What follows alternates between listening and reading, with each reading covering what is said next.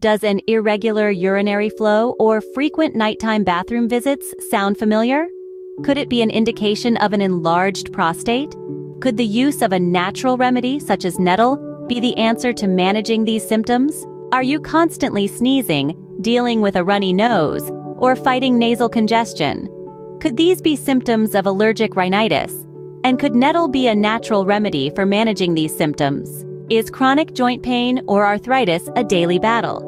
Have you considered all treatment options, including the anti-inflammatory properties of nettle, which could be key in relieving joint pain? Is blood sugar control or diabetes management a part of your daily routine? Could nettle have a positive impact on your blood sugar levels, enhance insulin sensitivity, and improve glucose metabolism? Are you managing skin conditions like eczema or dermatitis?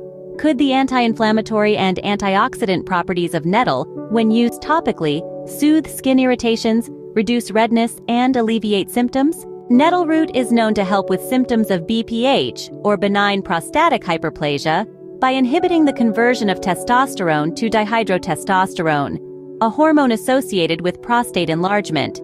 Its anti-inflammatory properties may improve urinary flow and reduce nighttime bathroom visits.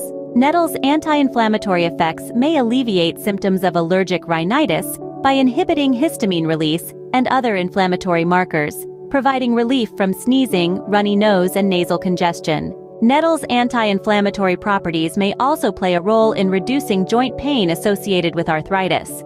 It may modulate the immune response and decrease the production of inflammatory substances, potentially easing discomfort in joints. Nettle may have a positive impact on blood sugar levels. It may enhance insulin sensitivity and improve glucose metabolism, although more research is needed to fully understand the mechanisms involved. When used topically, nettle may help with certain skin conditions due to its anti-inflammatory and antioxidant properties.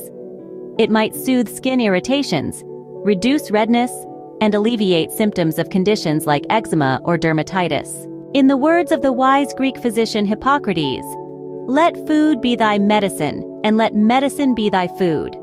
This is Dr. Herb, reminding you that nature holds remedies for many of our health conditions. This has been a Dr. Herb Minute.